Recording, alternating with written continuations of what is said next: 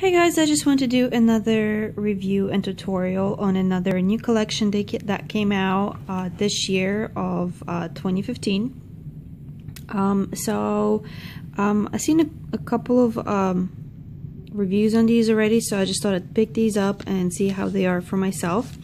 Um, these are the new Essie um, colors, and they are in the cashmere matte um, they are a little bit different than most of the matte um, collections out there because they have this um, iridescent sparkle in them. And you can see it really well in the pink one here. And in this like brownish here. See?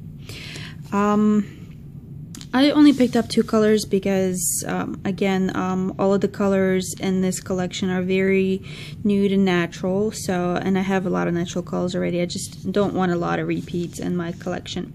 Um, anyway, so the two colors that I got are um, just stitched and comfy and cashmere. Um, I've already worn the just stitched a couple times and it looks absolutely beautiful. And I'm just gonna do a little demo and show you how they look. So here we go. Um, the consistency of these is uh, pretty loose once you start but the longer you have the bottle opener the actually longer they get chunky. So I'm gonna start with the comfy and cashmere the drip consistency, as you can see, is very slow. It's There we go. That was the first drop. I think you guys saw that right there at the very top of the screen. There we go. It's So you can tell it's a very thick consistency. It's actually going on a lot nuder than neuter or a lot more natural than it looks in the bottle. I thought it would be a lot darker.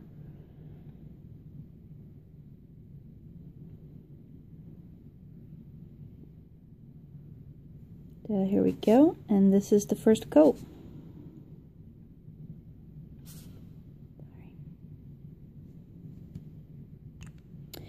And the actual texture of it is starting to appear fairly quickly. Like it's not taking any time for it to turn matte. Okay, and now I'm going to try the pink one.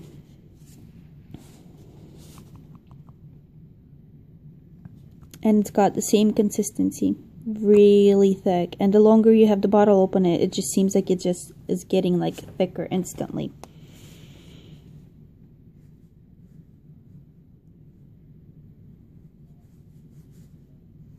Um the uh just stitched is a lot more sheer as you could tell. Um the comfy and cashmere actually went on pretty op like um, pretty opaque. It almost looks like a one coat uh, polish. But the just stitched is very very sheer, so it definitely needs another coat of that.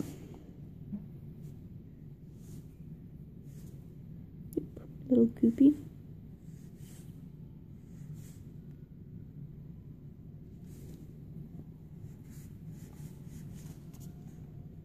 The only thing I don't really um, like about uh, textured polishes is that you can't really use top coats on them because if you do it kind of like defeats the point of like uh, textures.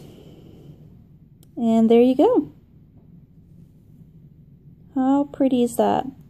And I'm gonna take um, a picture in a daylight and uh, put it in my um, oh what do you call that?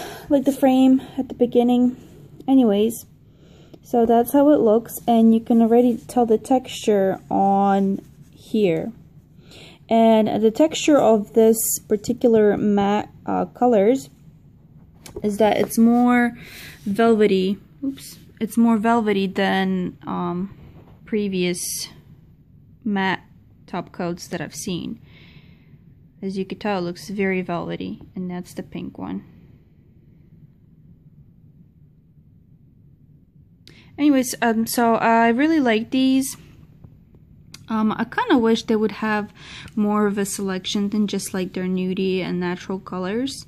But overall, I really like these and um, I might get a couple more colors from this collection. Alright, well, thank you guys for watching and I'll see you next time.